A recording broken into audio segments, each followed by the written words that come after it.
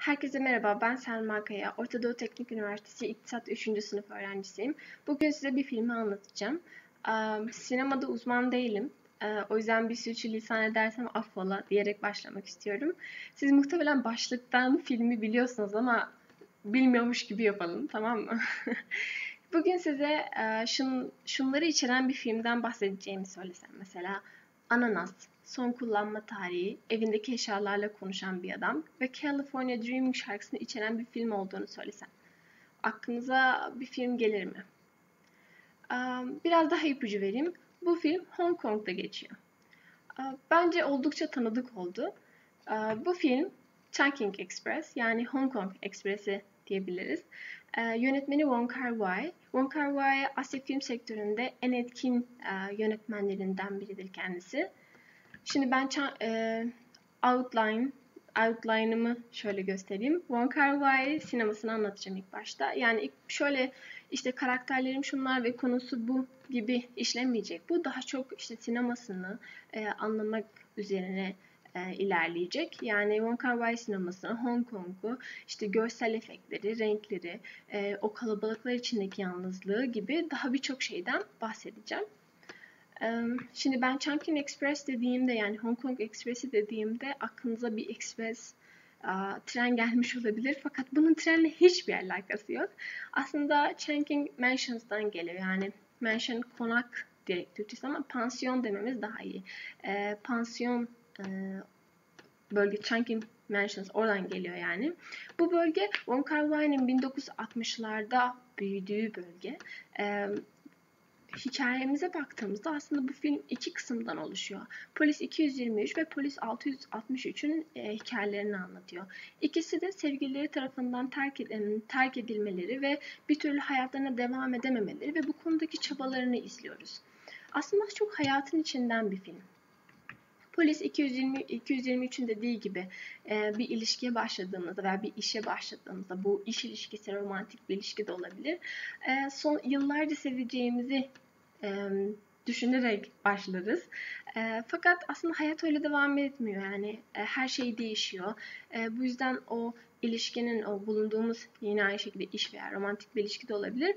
Aynı kalmasını beklemek saçmalık olsa da e, öyle ümit ediyoruz.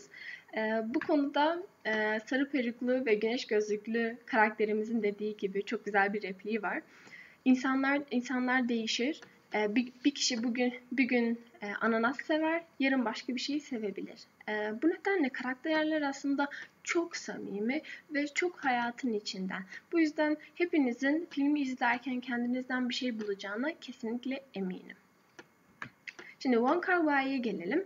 Kendisi 1958'de Şangay'da doğdu. 5 e, yaşındayken ailesiyle birlikte Hong Kong'a taşındılar.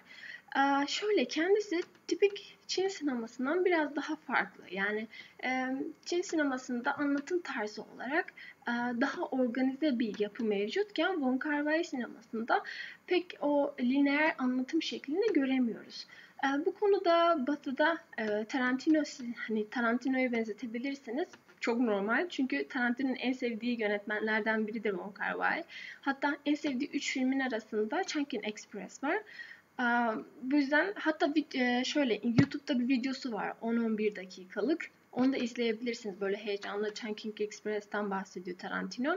Güzel bir video. Tüm bunların yanında aslında e, Wong Kar Wai sinemasında e, Fransız yeni dalgasının etkilerini de görebiliyoruz. Aslında Chungking Express'i çekme şekli, çekme hikayesi şöyle. Zamanın Külleri filmini çekerken o çok böyle dönem filmi ve oldukça da meşakkatli ve yorucu bir proje. Hani oradaki bunaldığı bir dönemde e, işte gündüzleri senaryosunu yazıyor, akşamları da el kamerasıyla filmi çekiyor. Bu filmin ruhuna çok uygun. Bunu da göreceksiniz aslında. Bence güzel bir etkileşim olmuş duyguyu iyi aktarmış diyebiliriz bu yöntemle. Filmde Hong Kong'a baktığımızda coğrafi olarak sağ tarafta e, Hong Kong'un yerini görebiliyorsunuz. Filmde gösterilen Hong Kong'a baktığımızda farklı etnik gruplarda insanların yaşadığı e, sınırlı alanlarda sıkışmış hayatlar görüyoruz. E, hatta Chungking, o Chungking Mansions, Chungking Pansiyonları e, bölgesinde göçmenler tarafından çok popüler bir yer.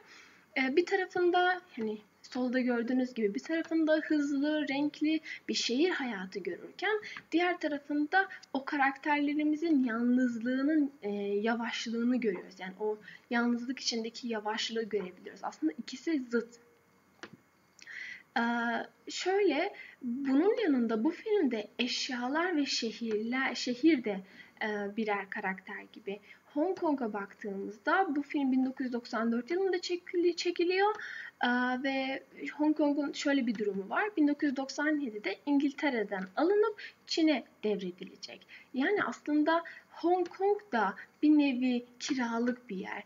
Bir nevi son kullanma tarihi olan bir yer. Bu yüzden karakterlerimizin e, çok iyi yansıtıyor ve ikisi arasında büyük bir benzerlik olduğunu düşünüyorum.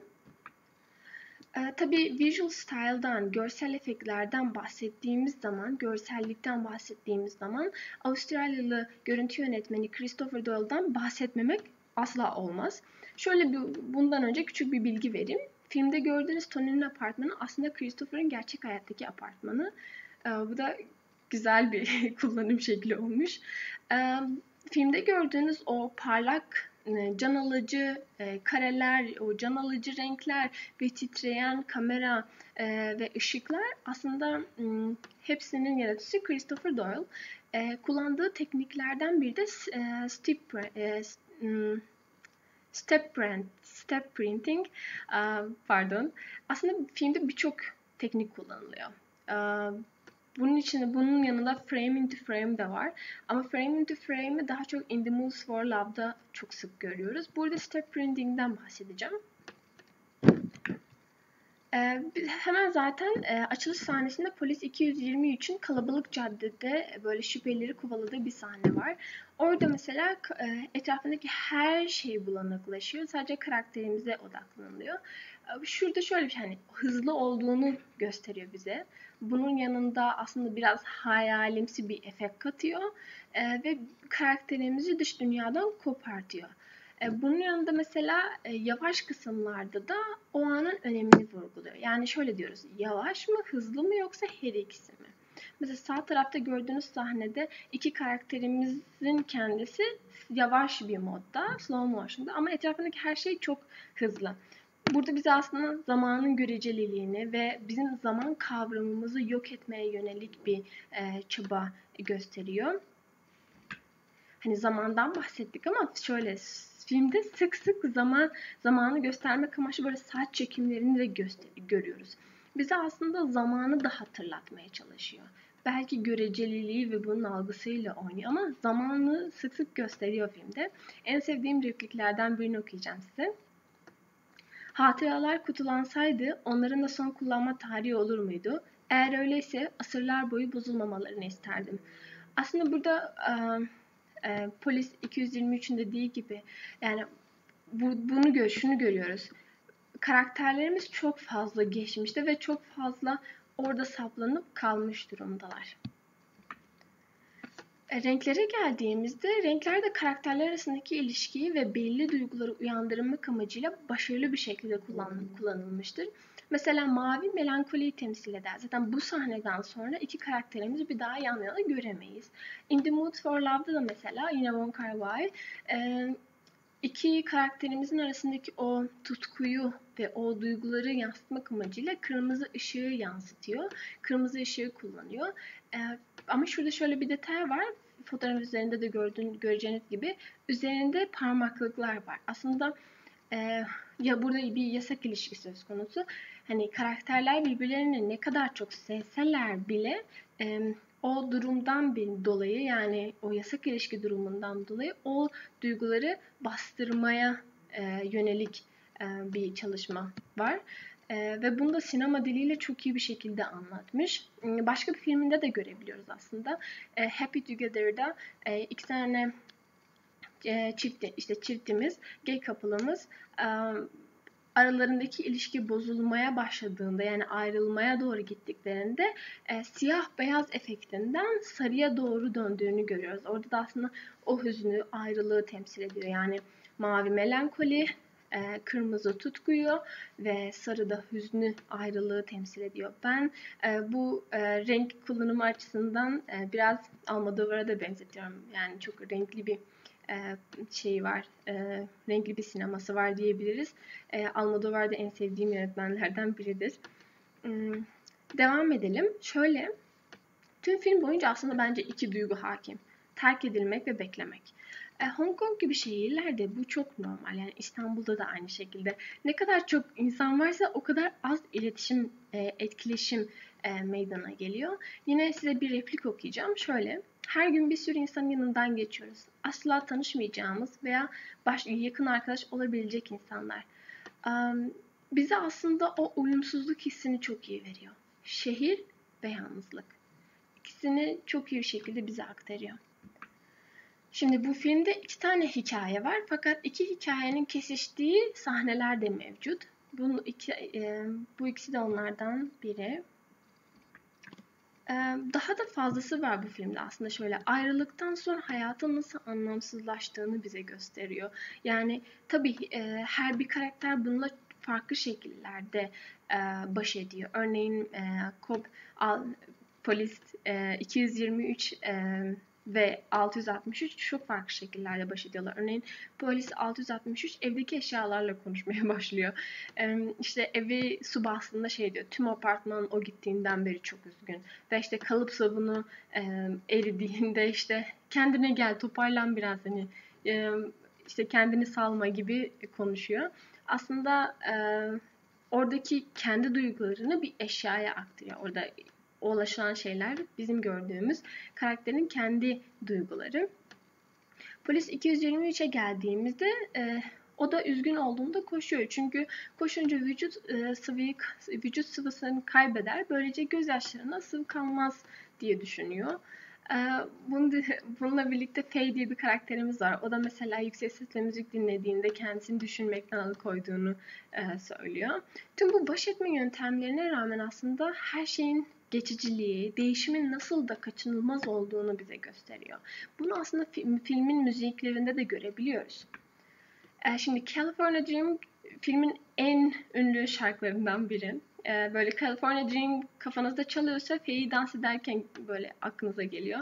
Ve Faye'i gördüğünüzde aklınıza California Dreaming gelebilir. Bu çok normal. Özellikle filmi izledikten sonra California Dreaming e, sürekli aklınıza gelebilir. Bunun yanında benim ikinci en sevdiğim şarkılardan biri Things in Life, Dennis Brown, e, Hayattaki Şeyler ve bunun sözlerinin filmle aslında filmi özetlediğini düşünüyorum.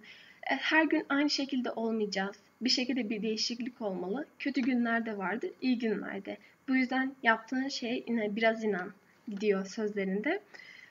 Bana şöyle düşündürdü. Çoğu zaman böyle e, çoğu zaman kısır döngüden ibaret olan ilişkilerde sıkışıp kalıyoruz.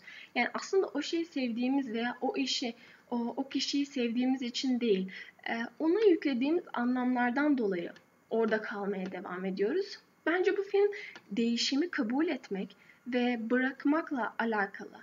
Ee, şöyle bırakmak deyince aslında mesela siz de fark etmişsinizdir belki. Karakterlerimiz yaşadıkları yerler, yemek yedikleri yerler, yedikleri yemeklerin hepsi aynı. Yani sürekli şefin salatası, sürekli ananas yiyor. Bunları bırakmakta bile zorlanıyorlar. Bu yüzden bana bu film, yani bu filmden ne anladım diye sorarsanız değişime kucak açmak ve bırakmakla ilgili olduğunu düşünüyorum. Bu yüzden değişime kucak açın ve bırakın gitsin diyorum. Ee, sizin e, bu konudaki görüşlerinizi çok merak ediyorum. En sevdiğiniz Von Kar-wai filmi nedir? Von Kar-wai sinemasında neyi seversiniz?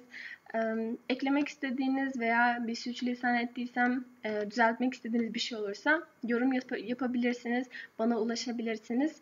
E, benim en sevdiğim Von Kar-wai filmi derseniz 2046'yı çok seviyorum. Onu da herkese öneriyorum. E, bu yüzden böyle. E, teşekkür ederim. E, iyi günler.